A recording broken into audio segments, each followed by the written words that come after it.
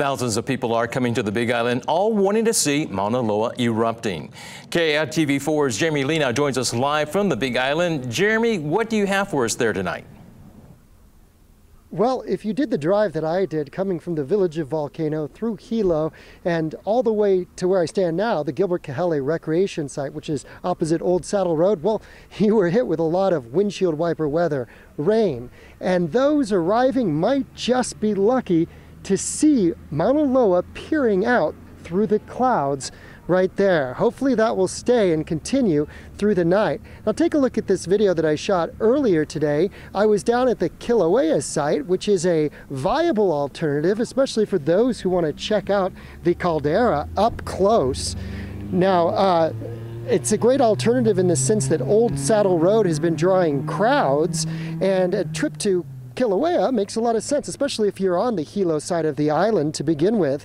Now, instead of heading west of Hilo, where I am now, a short 40 minute drive south gets you to the Volcanoes National Park and the caldera there. Now, in the early morning, you can catch the glow of not one, but two volcanoes if you're lucky and it's clear at 4 a.m. or 5 a.m. Those are the best times, according to many that I spoke to.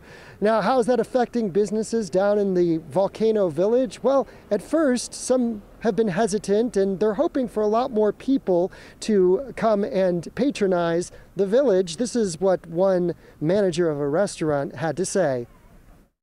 Thanksgiving we were crazy, and ever since the uh, eruption, we've actually been a little bit slower lately.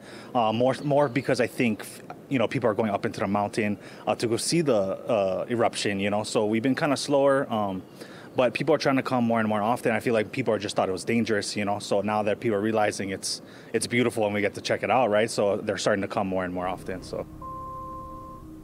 And they're hoping that more patrons will come soon. You know, it's been quite a, a, crowded site for the last couple of nights up off of the old Saddle Road area and Daniel K. Inouye Highway. With all the adjustments that went into effect last night, we're hoping that there won't be uh, too much congestion, but we'll have to wait and see.